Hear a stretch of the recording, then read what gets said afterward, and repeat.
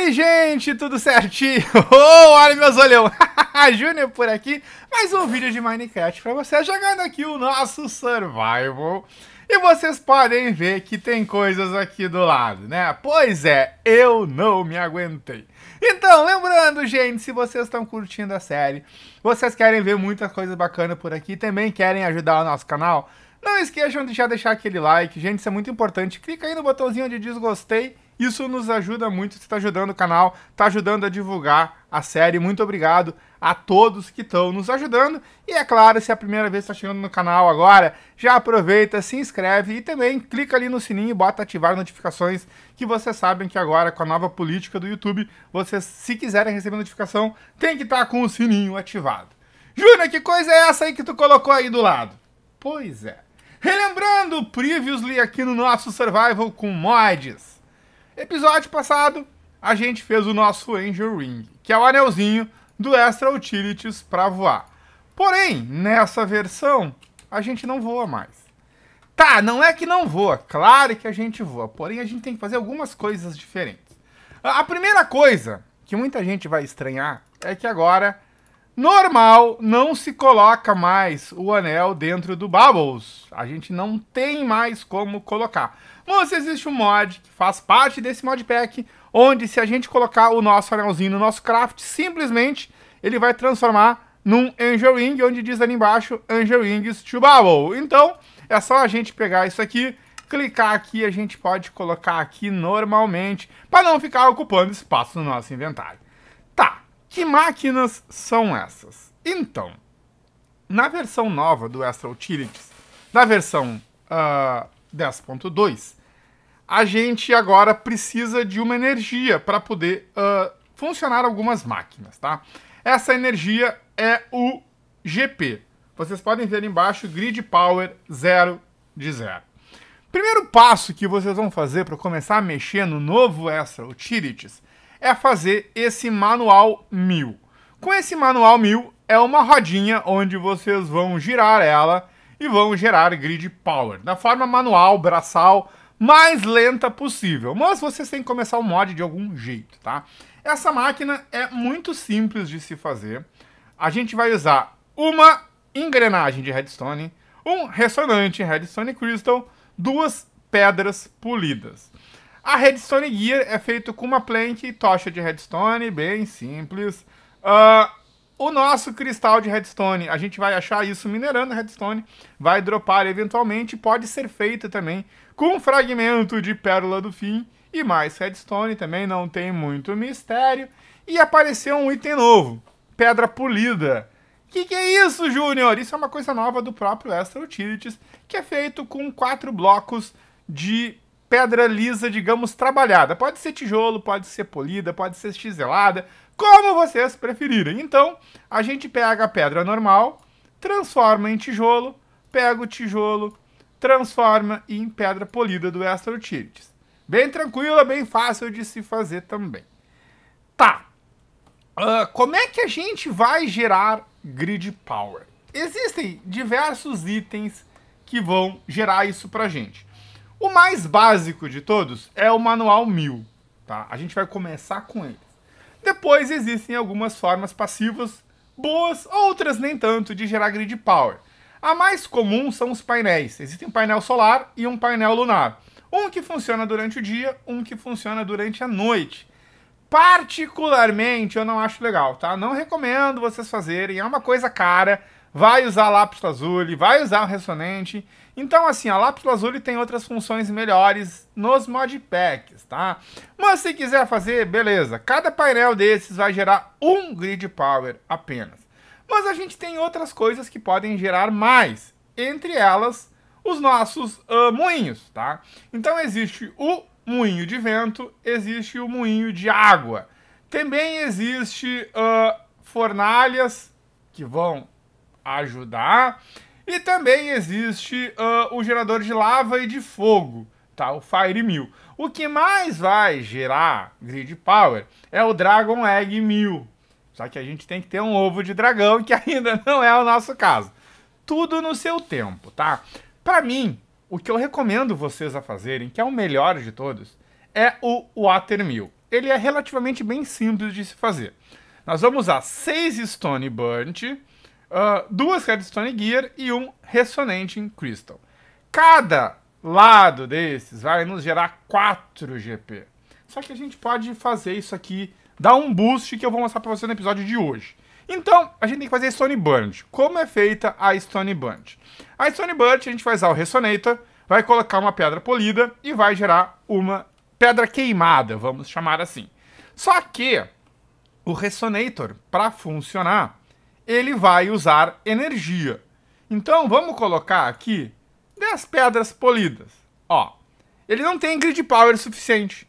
A gente precisa de 8 grid power para poder fazer essa pedra polida funcionar, transformar na pedra queimada. Então, se eu vier aqui e clicar com o botão da direita, ó, eu vou gerando grid power. E quando chegar no 8, ele vai fazer, ó, 7, 8, zerou, significa ser ele fez uma pedra queimada. Beleza. Não tem que ficar clicando, olha para ele, clica uma única vez com o botão da direita, pode soltar e ele vai ficar automaticamente girando isso aqui. Não precisa ficar clicando toda hora ou ficar com o dedo no botão do mouse. Clica uma vez e deixa o carinha trabalhar, tá? A gente precisa inicialmente de seis pedrinhas dessas para a gente poder fazer o nosso primeiro moinho de água. Então vamos deixar isso aqui trabalhando até a gente conseguir uh, as pedras todas que a gente precisa. Pelas minhas contas, essa vai ser a última, tá? Então vamos chegar no 8, beleza? Eu tenho 5 com 1, 6. Tranquilo, ó. Parou de produzir porque eu parei de girar a alavanca. Vamos vir para cá. Eu vou fazer duas Redstone Gear, que eu preciso. Tocha de Redstone com Plank, bem de boa. Vamos colocar aqui dentro. E eu vou precisar mais do meu ressonante em redstone. Tá, tranquilo fazer. A gente fez um win. Eu já tenho outro feito aqui que vai facilitar uh, a nossa vida. Na verdade, eu já tinha feito mais, mas eu desmontei todo o sistema para a gente poder fazer junto e eu poder explicar como funciona esse primeiro sistema de geração de grid power por aqui. Uh, a gente precisa de uma área. Essa área pode ser qualquer área. Não, isso aqui funciona via Wi-Fi, tá? é energia wireless. Então nós vamos fazer o seguinte: nós vamos fazer um buraco. Uh, eu preciso de um buraco aqui e de um buraco aqui. Só para mim poder explicar para vocês o funcionamento inicial. Vamos pegar um balde d'água e vamos colocar isso aqui aqui do lado, tá? Ó, a gente pode ver que está gerando 4 GP. Por quê? Porque um lado está com água corrente. Se eu colocar água corrente aqui, não funciona, tá? Porque não deixa de ser água corrente, a água está parada. Então eu preciso que seja uma água corrente aqui do lado. Então a gente pode usar isso aqui ao nosso favor. Se eu for lá para dentro, a gente vai ver agora que ao invés de zero, eu tenho 4. Só que 4 para nossa máquina não adianta. A gente precisa de 8. Eu posso gerar mais 4 girando aqui, ó. Bem de boa, até chegar no 8 e vai fazer mais uma pedra queimada. Mas ele automaticamente vai fazer 4. Parou no 4. A gente precisa de 8. O que, é que eu vou fazer então? Vou botar água no outro lado também. Tá começando a ficar noite, isso não é legal. Mas tudo bem, efeitos de demonstração. Então eu venho aqui e vou quebrar esse outro lado. Ó, então tá gerando agora 8. 4 de um lado, 4 do outro. Então, com isso aqui, teoricamente, eu consigo fazer aquela máquina funcionar sozinha e gerar todas as pedras queimadas que eu preciso.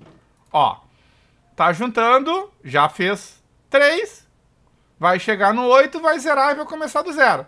Tranquilo, consegui fazer automático o processo, me livrei do meu moinho manual. Então, vamos deixar isso aqui trabalhando. Uh, vamos dormir. Porque já tá noite. Boa noite. Só que assim, gente, a gente tem que lembrar que existem diversas máquinas e que a gente vai precisar de diversas coisas por aqui. Uh, se eu olhar o meu anelzinho, tá dizendo que eu preciso de 32 grid powers para poder voar. E eu não tenho 32 Grid Powers ainda, eu tenho 8, então eu tenho que fazer mais. Uh, eu vou tirar por enquanto isso aqui daqui, tá? Só para ficar mais fácil da gente continuar com a nossa explicação. Eu sei que é um pouquinho chata essa parte da teoria, mas pelo menos como é uma coisa nova, eu acho legal vocês saberem, até para vocês entenderem uh, o jeito mais fácil de vocês fazerem isso tudo. Então, se eu fizer aqui mais uma área dessas com três blocos abertos, e eu colocar aqui, eu vou gerar 4, 8, 12, 16. Ótimo! Para mim voar, eu preciso de 32. Então, eu posso aproveitar esse meu próprio sistema que eu já comecei aqui. Uh, se eu tenho aqui um, uh, eu posso cortar esse aqui, colocar um desses aqui, eu corto aqui, vai vir água para cá, eu corto aqui, vai vir água para cá, e eu preciso colocar mais uma água aqui. Então, eu tô com 16, com 4, 20, com 4, 24. 24 eu não vou. eu preciso de 32. Mas isso é fácil da gente resolver. A gente pode vir aqui, colocamos mais uma e eu tô gerando 32 grid power, 16 em cada um. Então, teoricamente, eu já consigo voar com o meu anel. Ó, e não é o jetpack, tá? É o anel. Porém, todavia, mas quando se eu começar a trabalhar com aquela máquina, aquela máquina vai ocupar 8. Então, dos 32 que eu tenho, eu não vou ter 32. Eu vou ter 24. E não vai adiantar nada. Eu tenho que fazer mais. Ó, agora eu não consigo voar. Ó, porque essa máquina também está usando grid power. Eu não tenho grid power suficiente para poder usar a máquina mais o meu anelzinho.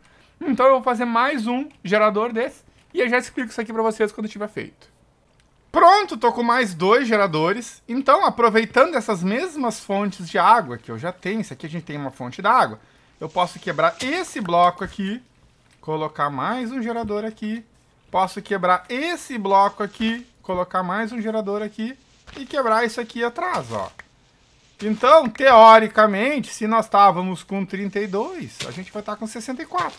Agora, a gente vai estar tá com mais 8 de cada lado, tá?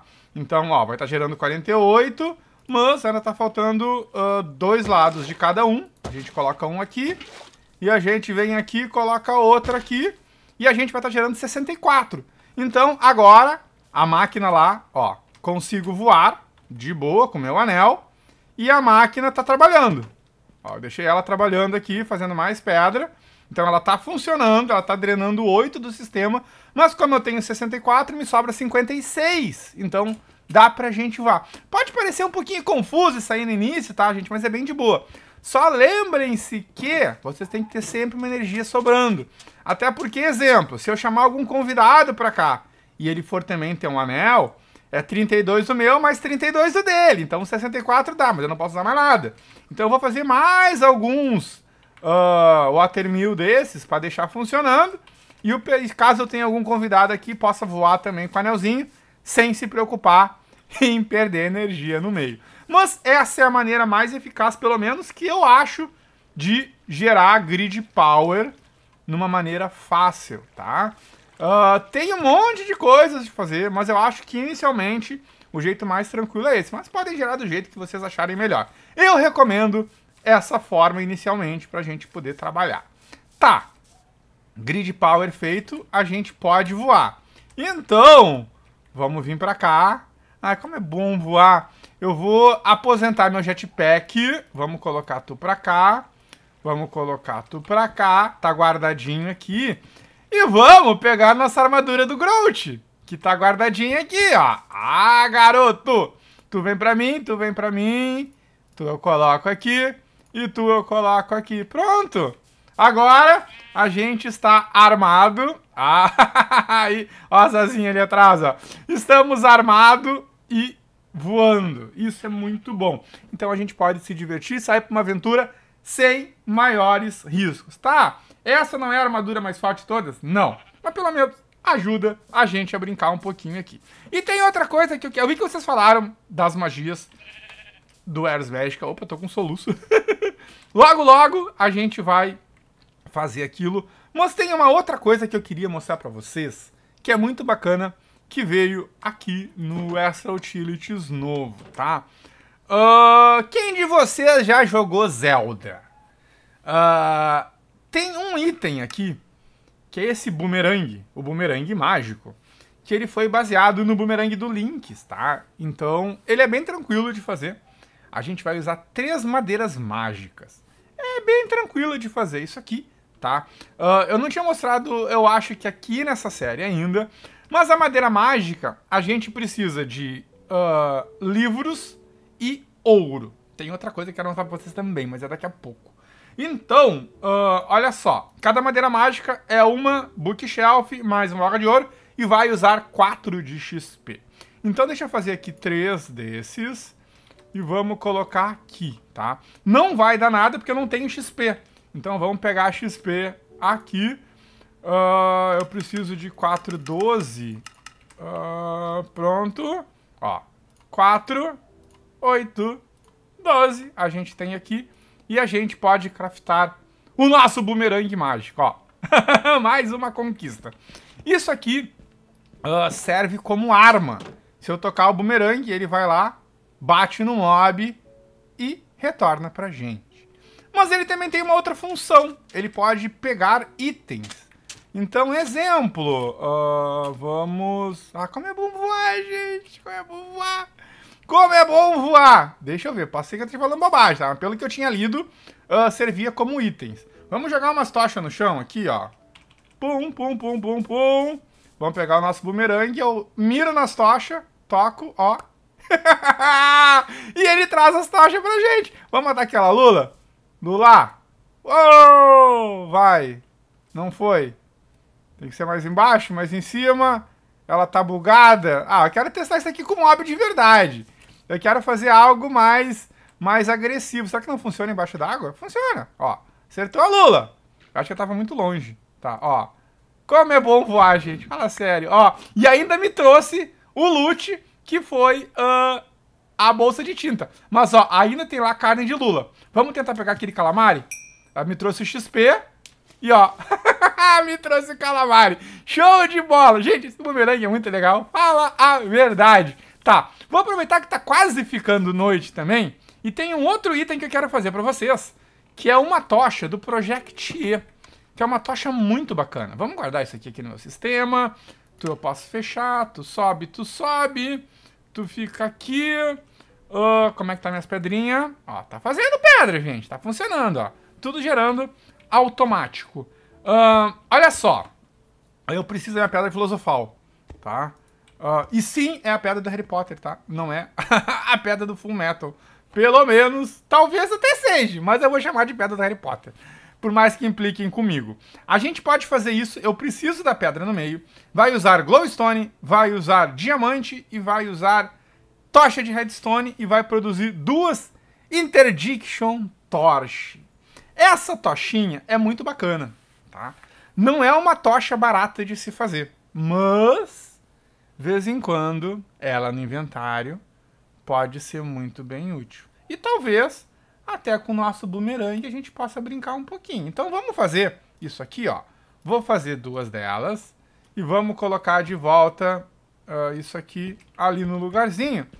E vamos esperar ficar noite, já tá quase anoitecendo, uh, pra gente poder brincar com o nosso bumerangue novo e com a nossa tocha.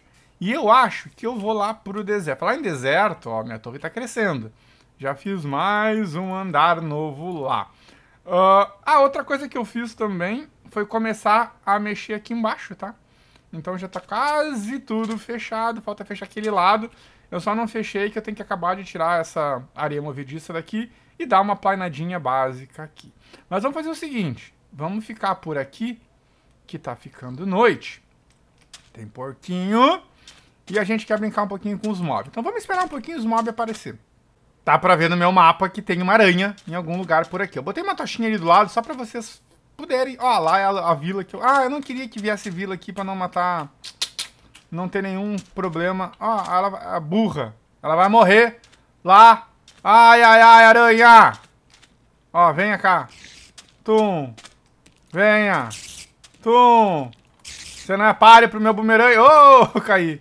Você não é páreo pro meu bumerangue. Toma. Vai, morre. trouxe XP solidificado, trouxe experiência. Ó, dá pra buscar tudo, ó. Dá pra buscar... Ah, gente, isso aqui é coisa de preguiçoso, gente. Fala a verdade. Isso aí... Ó, ó, ó, ó, ó, ó, ó, aqueles mob loucos lá, os blazes de gelo. Venha. Vai levar bumerangue... Au! Uou, não toque em mim. Eu tô mostrando, eu tô gravando, tio. Eu tô gravando. Ó, toma. Toma. Não, não toque em mim. Você vai morrer. Você vai morrer. Você vai morrer. Creeper, fica ali que eu quero dar um exemplo contigo depois.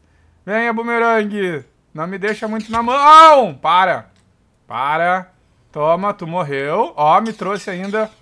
Toma, tu também. Vai morrer. Vai morrer. Vai morrer. Pronto, ó. Ainda me trouxe o Blitz Rod. Tá. Vocês também tem um monte de mob ali. Então, a função dessa tocha...